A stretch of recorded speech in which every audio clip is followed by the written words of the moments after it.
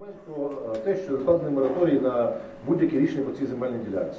Про якісь рішення судів, які е, десь відбуваються, я, наприклад, я людина така, що я хочу почитати це рішення, на підставі чого відбулися якісь зміни.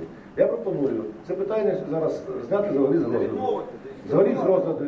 А потім, ну, е, я прошу підказувати, що мені говорити, я маю свою думку з того приводу. Потім все рівно, по-любому, нам треба буде сідати і розбиратися. Але це в межах провадження, як прийде кримінальне провадження, все рівно нам вихід треба буде шукати.